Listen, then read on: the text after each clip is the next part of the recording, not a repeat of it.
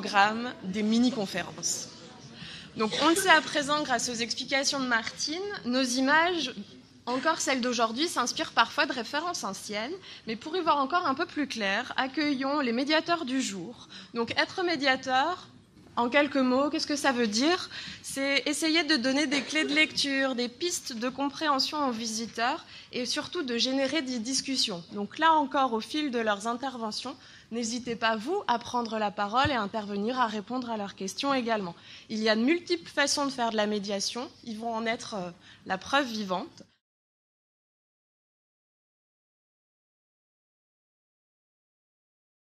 Premier projet des rencontres de l'image, intitulé M3, un musée à ma mesure, où les élèves de 3e 5 du collège Louis Armand ont étudié les images de nos collections et l'art de la médiation.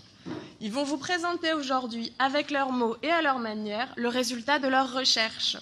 Donc la première conférence qui va être menée aujourd'hui est Question pour un tableau. J'invite Camille, Cléa, Samantha, Sandra et Mathéo à prendre place sur scène.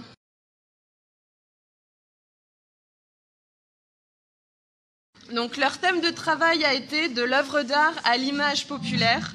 Pour vous en parler, ils vous proposent un jeu télévisé. À vous de jouer. Bonjour à tous et bienvenue dans Question pour un tableau. Alors, nos, participants, même si c'est plutôt dans ce cas-là participantes, vont essayer de gagner la cagnotte dont le montant s'élève quand même à plus de 1000 euros. En plus, notre gagnante repartira avec un tableau. Nous accueillons maintenant les participantes. Sandra, bonjour Sandra. Camille, bonjour Camille. Samantha et Cléa, bonjour. Bonjour. Première question pour Samantha. On commence par une question facile. Qui a créé cette œuvre? Euh, c'est Raphaël. C'est ça. C'est bien. Deuxième question pour Camille. En quelle année est né le peintre? Il est né en 1483 et meurt en 1520. Ok, c'est totalement ça. Troisième question pour Cléa.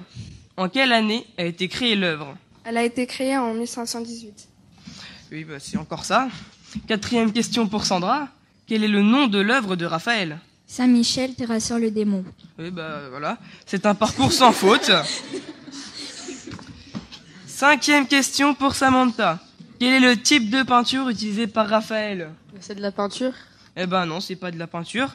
Est-ce que quelqu'un peut corriger l'erreur? Oui, C'est de l'huile sur toile. Oui, c'est de l'huile sur toile, c'est pas de la peinture normale. Sixième question, Camille. À quelle collection le tableau appartient-il? Il appartient à la collection du Louvre à Paris. Bien, une seule erreur pour l'instant, on passe au tableau suivant. Ok. Première question à propos du deuxième tableau, et ce sera pour Cléa.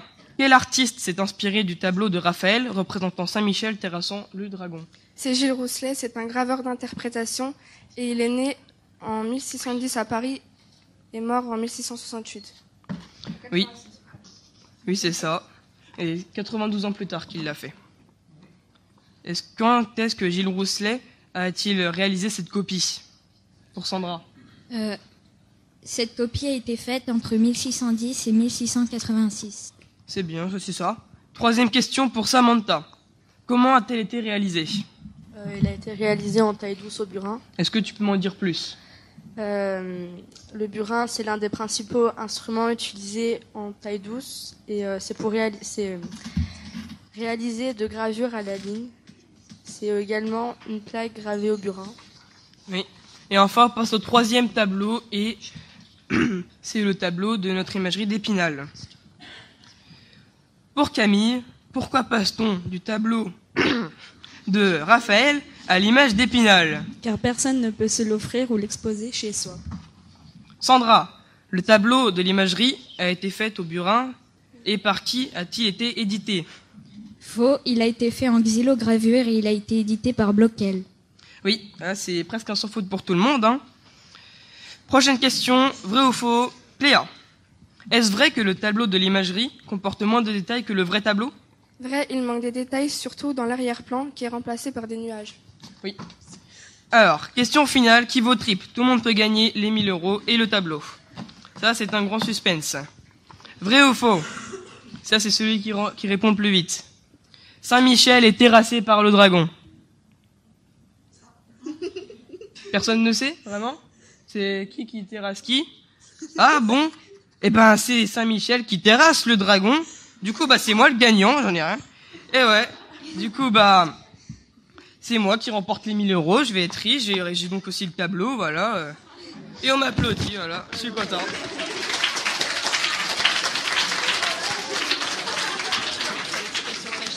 On va passer maintenant à la deuxième mini-conférence.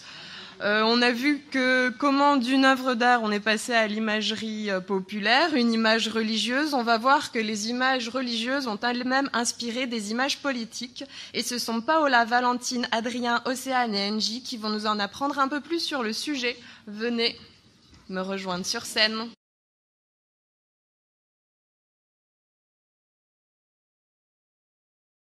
Euh, bonjour à tous. Aujourd'hui, on va vous présenter euh, deux images du modèle religieux euh, aux images politiques. on va commencer par la première image qui se trouve à gauche. Angie, que représente cette image? Cette image représente Saint Joseph et Marie. oui. Valentine, qui est le bébé dans les bras de Saint Joseph? Le bébé dans les bras de Saint Joseph est Jésus. Adrien, pourquoi le personnage est-il aussi grand? Il est aussi grand parce que c'est le personnage principal. Euh, oui. Euh, Paola, qui sont les personnages à ses côtés Les personnages à ses côtés sont Dieu et l'ange Gabriel. Oui. Euh, Angie, qui sont les âmes à ses pieds euh, À ses pieds, on remarque des hommes travaillant le bois. pourquoi car, car Saint Joseph est le dieu de la charpenterie. Valentine, qu'est-ce que le Qu'est-ce que le triangle représente? Le triangle représente la Trinité. Euh, oui. Et mais Paola, c'est quoi la Trinité? La Trinité, c'est le Père, le Fils et le Saint-Esprit. Oui. Euh, on va passer à la deuxième image. Euh, Adrien, comment se nomme cette image? Cette image est nommée Napoléon et son fils. Oui. Angie, qui est le, le personnage sur cette image? À gauche, c'est Napoléon et à droite, son fils. Oui, Valentine, euh, comment euh, Napoléon est-il habillé? Napoléon est habillé de bottes, d'un manteau et d'un chapeau armé d'une épée. Oui, euh, est-ce que cette image est réelle? Non, elle n'est pas réelle. Pourquoi? Parce que Napoléon est mort quand son fils avait 10 ans, alors que sur cette image, on peut voir qu'il est beaucoup plus âgé. Oui.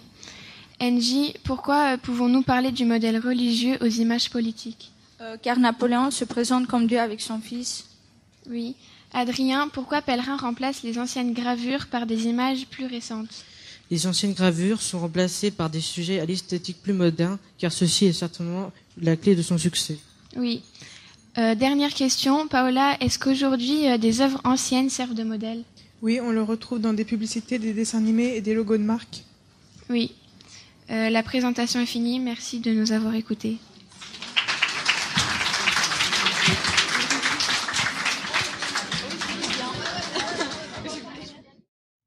Donc la troisième mini-conférence va s'intéresser à plusieurs images du pouvoir étonnamment semblables. Là encore, il s'agit d'un jeu. Donc votre participation sera demandée cette fois-ci, ce ne sera pas une simple démonstration.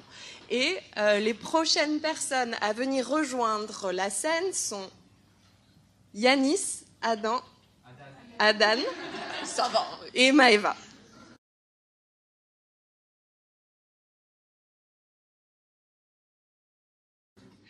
Bonjour chers spectateurs et spectatrices.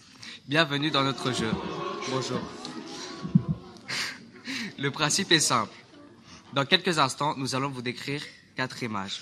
Puis, ces six images-là vous seront projetées ultérieurement. attention, il y aura six... Non, deux intrus. Le thème d'aujourd'hui est d'une image de pouvoir à l'autre. Soyez très, très attentifs. Définition 1. L'image contient beaucoup de rouge ainsi que du bleu. Il regarde vers la droite, l'avenir, le futur. Sa tenue vestimentaire, vestimentaire contient des fleurs de lys. Le sceptre a la même posture que la main du roi. C'est aussi le signe de, de bénédiction que faisait Jésus-Christ. C'est bon? Oui. Mais quelle est donc cette image? Ah, viennent de vous décrire. Euh, c'est bien ça, bravo. Euh, passons à la définition numéro 2. Et est-ce que vous savez euh, qui est représenté sur euh, l'image numéro C? C'est ça. Euh, euh, définition 2. Son buste est au milieu avec deux drapeaux français sur les côtés. Au-dessus, il y a un grand aigle. C'est un signe de pouvoir. Sur les poteaux, ils sont gravés les batailles qu'il a gagnées, ainsi que tout en bas, une représentation de la bataille d'Austerlitz. Ces victoires représentent la force. Mais quelle est donc cette image Oui, c'est ça, bravo. Euh, passons à la troisième définition. Il est au milieu de l'image avec un gros drapeau français derrière lui. L'image est divisée en plusieurs parties. La mer, des champs, un village, la guerre et l'armée. Le nœud à ses pieds signifie la récupération de l'Alsace-Moselle. Mais c'est trop facile en fait. Euh, oui, c'est ça, bravo. C'est pas grave. Euh, passons à la quatrième et dernière définition. Il est représenté à droite de l'image, le regard vers l'avenir. Il a un petit drapeau français. Il porte des médailles, signe de ses victoires. Il a une main sur des livres, signifiant que la France et lui sont cultivés. Oui, c'est la B. Euh, et euh, les images de pouvoir ont toujours existé. Aujourd'hui encore, on peut voir des portraits officiels du président de la République à la mairie.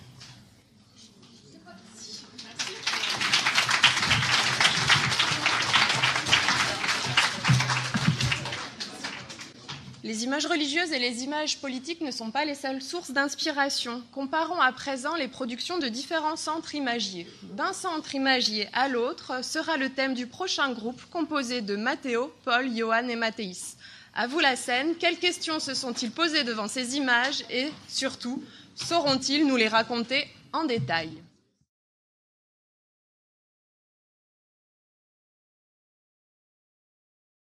Bonjour à toutes et à tous. Avez-vous bien fait vos questions sur euh, Crédit est mort, les mauvais payeurs l'ont tué? Oui, oui. C'est bien.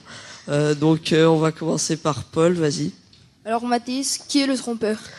Le trompeur, il est représenté euh, sur cette image comme celui qui a une palette de peinture et, et euh, une canne qui est en train de frapper euh, Crédit est mort.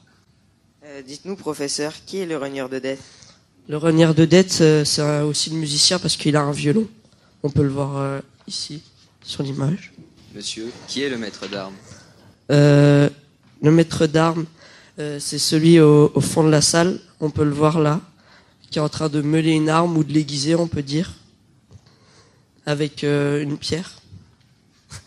Et monsieur, alors, qui est le soldat Le soldat ou le gourmand est celui euh, qui est représenté avec une épée dans la main, qui est en train de pointer Crédit est mort.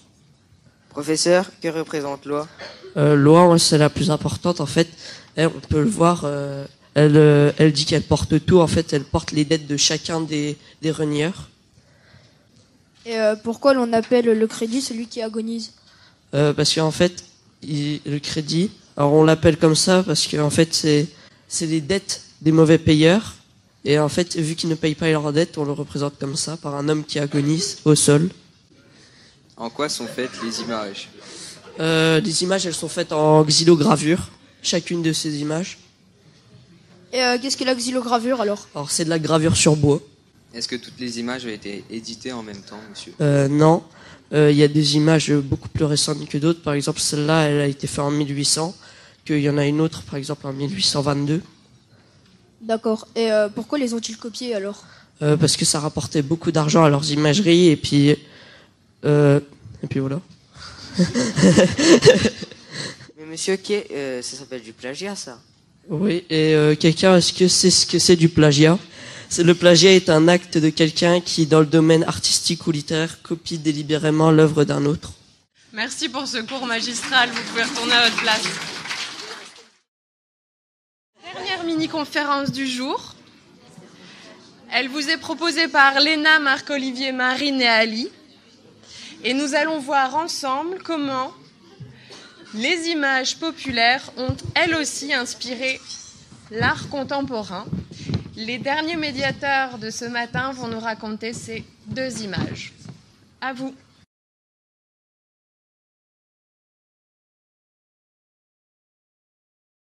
Donc euh, d'abord bonjour à tous. Euh, on va vous présenter euh, deux images qui mettent en œuvre le degré des âges. Donc cette image date du 19e siècle. C'est une œuvre éditée par Paluzzi à Barcelone. Cette image espagnole fait référence à la pratique religieuse et à la mythologie. Dans cette image, les personnages sont placés du plus jeune, donc là, jusqu'au plus âgé. Euh, il, monte puis descend des, donc des marches d'un escalier. Euh, donc euh, chaque marche représente un âge de la vie. À gauche, les symboles liés à la jeunesse, une nature lumineuse et verdoyante, des personnages qui courent ou posent fièrement, des jouets, des, beaux habits colorés, une hirondelle dans son lit. Tous ces symboles font penser à la, vie nouvelle. plus haut dans le ciel, un ange qui porte un, un nouveau-né dans ses bras. Et à droite se lie à la vieillesse. Un paysage hivernal, un ciel d'orage, des personnages courbés, des cannes, des vieilles fripes grises, une tête de mort et un cimetière. C'est la, fin de la vie qui est mise en avant. Dans le ciel, la mort avec des ailes de chauve-souris, crâne et une faux. Les éléments du paysage symbolisent le crépuscule de la vie. Alors au centre du tableau, on voit euh, le, euh, on voit le dieu euh, Chronos, maître du temps, il, tient dans sa, il tient dans sa main gauche un sablier. Donc il y a aussi beaucoup d'éléments de la vie, comme un enfant qui se fait baptiser et des funérailles. Et donc il y a aussi des, un memento mori en haut, donc qui veut dire souviens-toi que tu vas mourir, et une allégorie de la vie. Et le tableau est des alors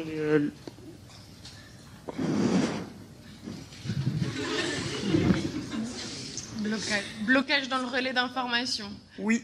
Quelle est la dernière information que tu souhaitais nous, nous, partager? Quelle a été ta découverte devant cette image? Que le tableau euh, va de euh, progresse de 0 à 50 ans. Donc, donc là, c'est l'apogée. Et euh, après, de 50 à, 100 ans, et eh ben, les personnes meurent. Merci. Alors, euh, je vais vous parler de ce tableau. Euh, il s'appelle La maternité et la sagesse. Cette image contemporaine s'intéresse au degré des âges. À gauche, une femme juste mère porte son nourrisson. L'herbe à ses pieds est verte et grasse. Un immeuble se dresse en arrière-plan, signe d'un renouveau. La moitié de lune de son côté est sombre. Au centre, un fond rouge et la présence surprenante d'une chèvre qui regarde droit devant elle. Enfin, sur la droite, euh, la biesse que les deux artistes français ont préféré appeler sagesse. L'herbe est sèche, la femme semble attendre son heure, mais la lune, elle, est, lumineuse. Peut-être le signe que la vieillesse est l'âge de la clairvoyance. Ces personnages, même la chèvre, ont une histoire. Ils sont tous membres du cirque, du un milieu dans lequel tous les âges se côtoient, où chacun sait quelle est sa place.